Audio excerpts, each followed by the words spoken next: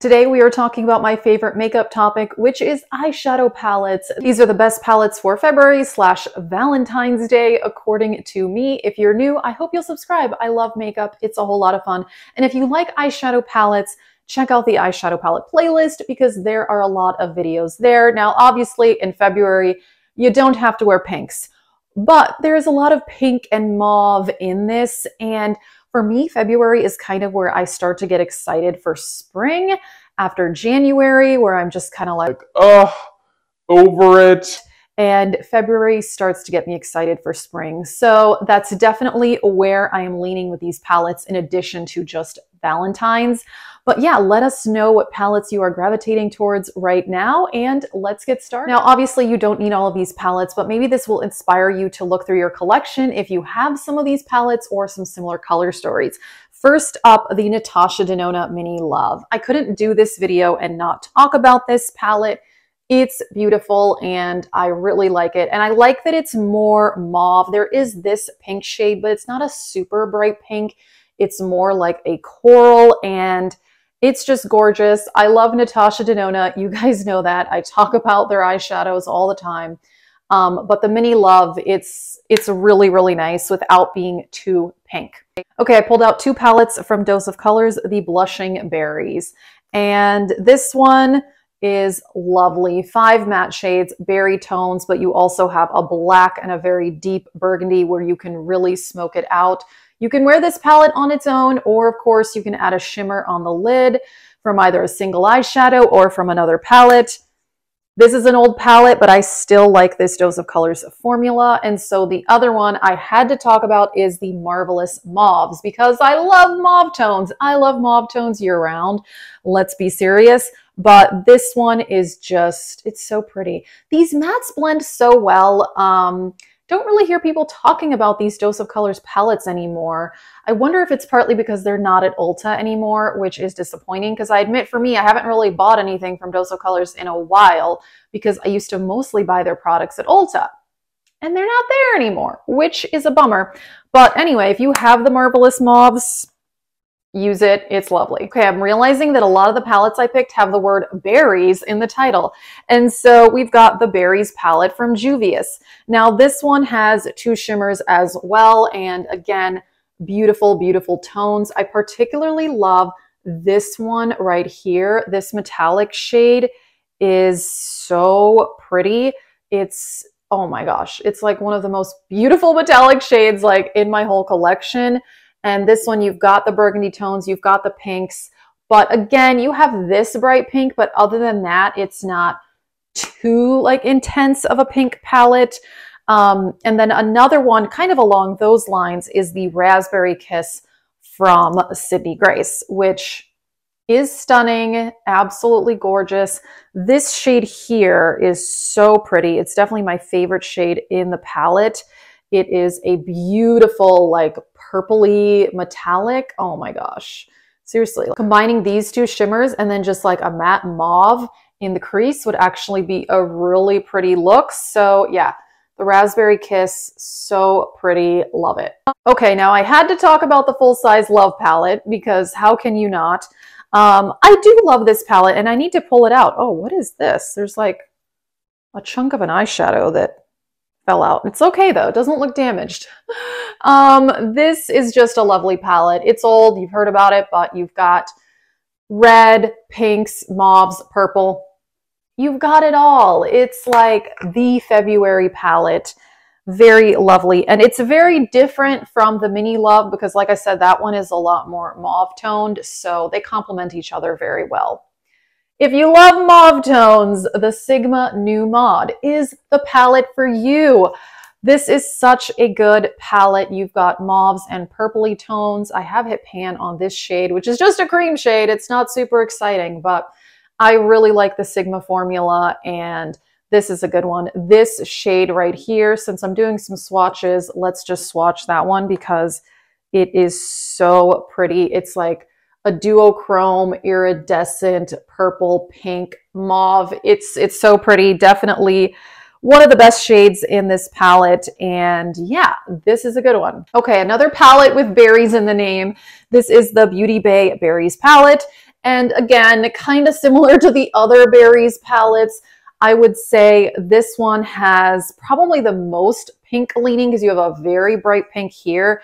And even this one here is pretty pink, but you do have some deeper shades here. So that's something to consider with this palette. When you're talking berries, it's like, how pink do you want to go? How burgundy do you want to go? You know, you've got options, but this one I would say is definitely more pink leaning, whether, you know, you're into that or not. Then we have the Alter Ego Sakura palette, and this one is lovely. This is like quintessential spring palette for me. I just love the minty light greens in here and the pinky mauve tones. It is so pretty. This is definitely like their version of the retro glam, but somehow I like their arrangement a lot better than the Natasha Denona palette, which I do have. And I tend to reach for this one more than that one. And I think it's because the arrangement is, it's more pleasing, at least to my eye, but that one is super pretty. Um, the Red Dragon palette from Oden's Eye. I had to talk about this mostly because this red shade is so pretty. If you just want a one eyeshadow look and you want to like go red, this is the shade. This is so, so pretty. It is lovely. I love the Oden's Eye formula. Their metallics are really nice. They do have some kind of, you know, peachy mauve tones in this palette as well. And it's an amazing color story. I'm, I'm really into that one. Okay, if you like soft pinks, this is the palette for you. The ColourPop Petals on Point. Hopefully they still sell this. I don't even know. But if you have it, pull it out because this is just like a very pastel pink palette, but it has pigment. Um, it's not like super, super light. I think that it looks more pigmented than you would think just by kind of looking at it. And the shades are so pretty. Uh, this shimmer here is such a nice metallic pink. Ooh, that one is lovely. That is very, very pretty. So anyway, this one, taupey light pinks, very springtime, you know, I'm feeling it. Now, if you're more like wanting a vampy, like sexy Valentine's look, something like the wine and only might be the palette for you. Um, kind of some of the same vibes as those previous berries palettes, but going way more burgundy without that whole bright pink situation that personally I'm not as into when I want this type of look. If I'm going for a brighter pink look, it's going to be something lighter like what I'm wearing today. So for me, when I want the burgundy tones, I don't want the bright pinks. Um, so personally, I like this one more than the other berry themed palettes I mentioned. Um, this one is just, it's just beautiful burgundy tones. What more can I say? And it's wine themed. So, you know, how can you go wrong? I'm pretty sure the names are definitely, yes, they are definitely wine themed. Oh, they're so hard to read. Um, yeah, Mon Cherie, Vinter, Mull It Over, Major Chianti, Play to Wine. I don't know. I think it's cute. I like the theme. I love red wine also, but trying to drink less of it. Anyway, moving on. That's not what this video is about. Uh, the Melt Cosmetics She's in Parties. Again, this is one where if you want the smoky look, check this out or pull something similar out of your collection because this is vampy mauve tones and it is beautiful. This shimmer right here is so nice. Even though Melt Cosmetics are more known for their mattes. I do think that the shimmers in this palette, I put way too much on and but look at that. That is such a pretty shade. And this palette is currently in my project level up. So been loving it.